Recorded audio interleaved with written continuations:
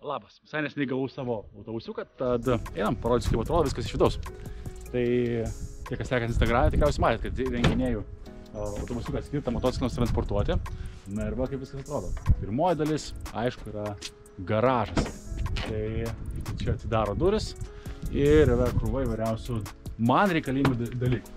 Svarbiausia, kad mes čia turime motociklų vietos, turime vietos susidėti dėžės, kitoje pusėje turime vietos susidėti šalmams, specialios lentynos trim šalmams. Gale, kaip matosi, turim krūvą vietos padangoms, na ir taip pat numatytos yra vietos a, staliukui, e, kėdėms, kūro bakams ir garažas padarytas taip, kad būtų patogu transportuoti du motociklus. Tai paprastai vežuosi savo žiedinį ir jeigu kartais prireikia, dar įsimet- įsimetam kažkokį tai draugų motociklą, jeigu važiuojam dviese, arba įsimetu krosinį ar kažkokį tai kelioninį motostą, jeigu važiuoju kažkur tai toliau.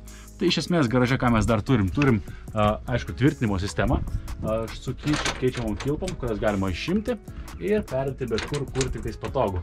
Tiek, tiek čia šonės, tiek grindyse tokios pačios sistemos yra sudėtos. Tai šita sistema yra žiauriai fainas dalykas.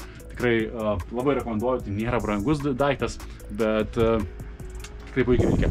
Na ir turime, aišku, iškli- išleidimo, visą įrangą, kas yra reikalinga įsitais to stogeliui. Tai uh, trumpai tie garažai. Garažai iš esmės uh, viskas, kas yra skirta motociklams. Kai kurie autobusiukus daro taip, kad būtų miegojimo dalis štai tokiam aukšte kaip šitą lentyną, gal šiek tiek žemiau.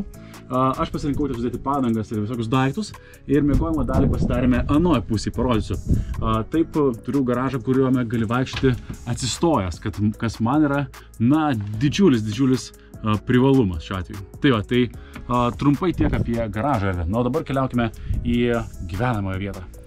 Na ir pagrindinis, aišku, visas džiaugsmas vyksta tada, kai atsidarai štai šias uh, duris. Tai uh, kągi mes čia turim? Bandom lipti į vidų ir pasižiūrėti. Štai čia mes turim mini virtuvėlę, uh, iš kurios labai patogu darytis valgyti. Tai kągi mes čia turim? Turim dujinę, turim uh, vandens čiaupą, toliau turime uh, kadangi žmona labai mėgsta kavą, turim mini kavos aparatuką, turim 20, a, tam reikia įsijungti štai čia inverterį ir galim pasidaryti, štai už tai galim putės, galim pasidaryti kavos. Kol kas mes inverterį išjungsim. Taip pat turim apšvietimą, kuris reguliuojasi visokių spalvų ledais, galima keisti spalvas, galima įsijungti ir papildomą apšvietimą viduje, galim pakeisti spalveles į, kokias tik tais a, norime. Tai tikrai labai šaunių dalykų čia yra renka. Dabar a, galas padarytas yra taip, kad galėtų sėdėti a, vaikai, tai čia pasidės a, dvi kėdutės. Kas labai man patinka, kad praktiškai visur yra išvesta USB laidų, tiek čia, tiek prie virtuvėlės yra jungikliai, tiek kiekvienoje rozetėje yra USB krovikliai, dar viena 220 rozetė yra anoje pusėje. Žodžiu, labai patogu. Turime krūvą spintelių daiktams susidėti. Štai taip. Uh, tiek čia, tiek viršuje. Žodžiu, daug, daug, daug vietos viskam susidėti. Uh, šiek tiek perdarimo dar laukia ateityje uh, pačiam autobusiuko viduje.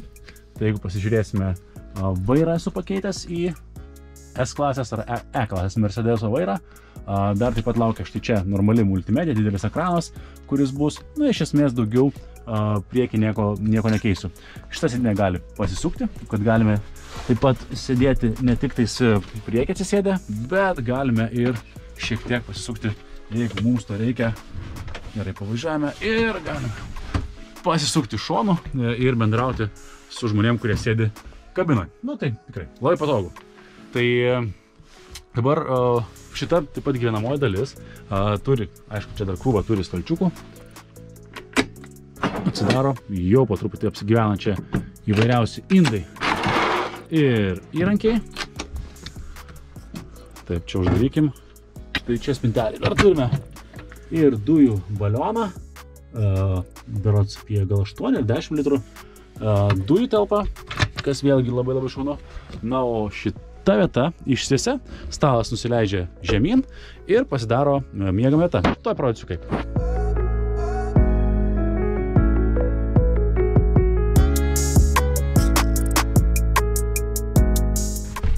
Pagalvių, nes galim padaryti tiek siauresnį, tiek platesnį variantą. Šį kartą pabandykim padaryti tiesiog vienam žmogui skirtą miegoti variantą. Šitos pagalbės dar dedasi štai čia, galim turėti dar platesnį miegamąją dalį. Ir taip gali išsitekšti ir miegoti. Na, patogiai. Aišku, pagalbės ir visą kitą. Tai dažniausiai, kadangi būnu vienas keliaudamas trasę, tai miegoti patogiausia bus vienam. Na, o jeigu važiuojame su žmona, čia dar prasiplatina dar apie 30 cm lovos ir gaunasi 1,30 m pločio bendra lova.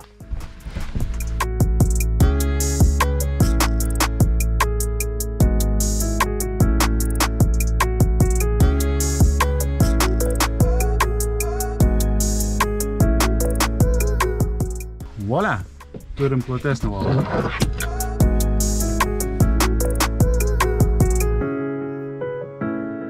Kur savai suprantama galima ir atsigulti patogiai.